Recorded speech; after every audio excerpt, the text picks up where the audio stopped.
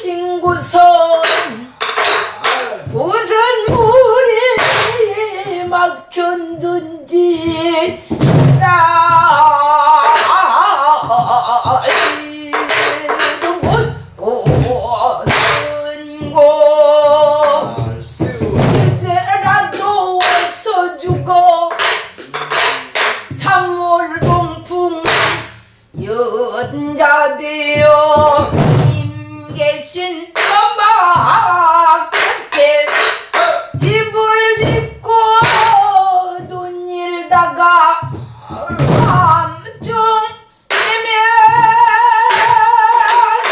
이만 얼마나 넌 정해를 하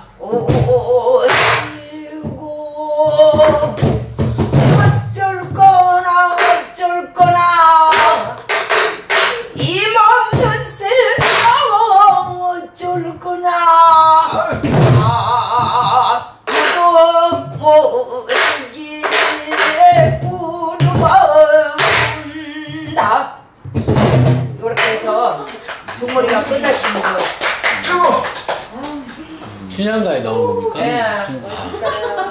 아, 딱 이렇게 좋은 것도 있네요. 아니요, 그렇죠. 다 배우고 배워야 진짜.